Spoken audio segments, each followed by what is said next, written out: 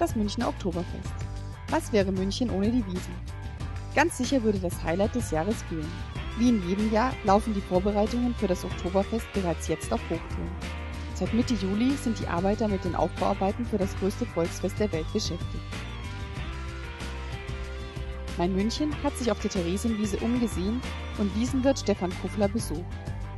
Bereits seit 1984 betreibt die Familie Kuffler erfolgreich das Weinzelt.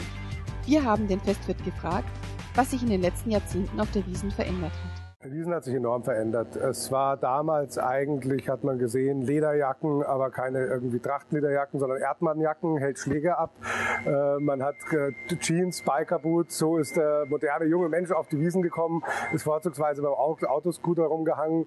Äh, und die Zelte wurden nach und nach eigentlich gerade für die, für die jüngeren Leute erst beliebter, als auch andere Musik angefangen hat zu spielen. Und dann kam auf einmal auch dieser Trachtenboom, der eigentlich durch die Landhausmode, der ich persönlich Spiel jetzt nicht so viel abgewinnen kann.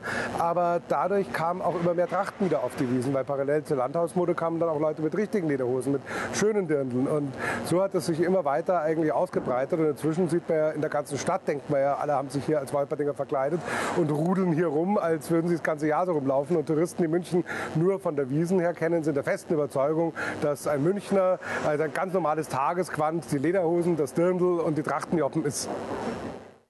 Für Stefan Kufler ist die Wiesn das Highlight des Jahres. Während dieser Zeit ist für den Festwirt ein vertrauensvolles Verhältnis zu seiner Bank sehr wichtig.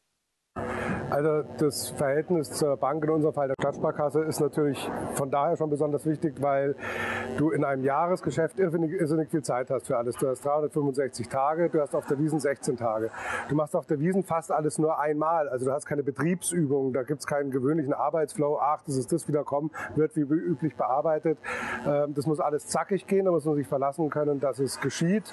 Und es ist ein irrsinniger Aberglaube, habe ich festgestellt, dass jede Überweisung auch getätigt wird.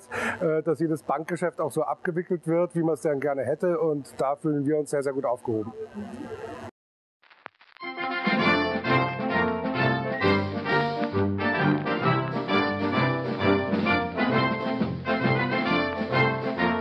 Auch die Münchnerinnen und Münchner blicken mit großer Vorfreude auf den Start der Wiesen und erzählen, was ihnen besonders gut am Oktoberfest gefällt. Ich finde die Wiesen super, weil sie sehr abwechslungsreich ist. Es ist im Endeffekt für jeden was dabei und man kann eben mit Freunden hingehen, man kann feiern gehen.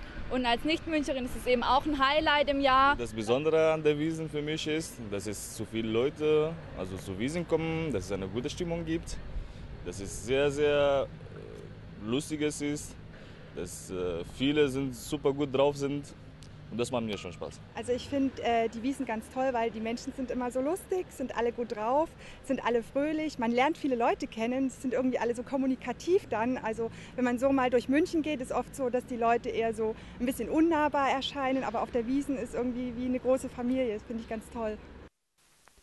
Das größte Volksfest der Welt blickt mittlerweile auf eine mehr als 200 Jahre alte Tradition zurück. Seinen Ursprung hatte das Oktoberfest im Jahre 1810 als zu Ehren der Hochzeit von Ludwig von Bayern mit Prinzessin Therese von Sachsen-Hildburghausen ein Pferderennen auf der Theresienwiese ausgetragen wurde.